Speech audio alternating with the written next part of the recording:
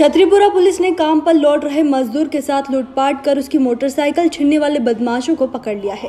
Police के हत्याए बदमाश पर पूर्व में भी कई मामले दर्ज है। अब पुलिस बदमाशों से पूछताछ में जुटी है, जिसमें कई नए मामलों के खुलासे होने की उम्मीद है।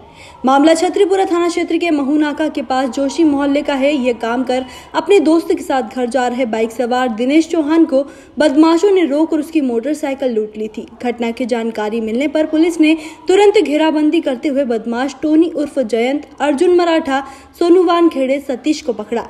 इन्हीं के सुनियोजित तरीके से लूट की घटना को अंजाम दिया था।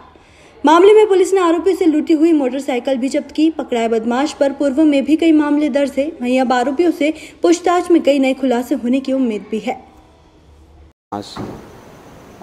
आए पीछे से और इसको चाकू अड़ाया। तो ये जान बचाने के लिए ये इधर अर्जुनपुरा मल्टी तरफ़ भागे हैं। तो उन चारों बदमाशों ने इनका पीछा किया और आगे जोशी मोहल्ले में आके उनको अटैक करके रोका तथा उनकी मोटरसाइकिल फरियादी की मोटरसाइकिल चारों बदमाश छुड़ा के और भाग गए।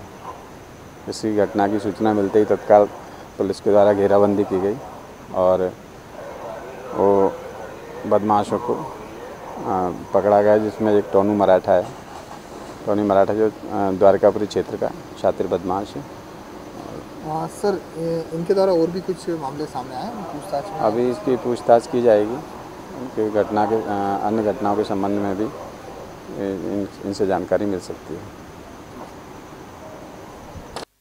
टाइम न्यूज़ देखिए अब आपके मोबाइल और स्मार्ट टीवी पर। लाइव प्ले स्टोर से डाउनलोड करें। Time smart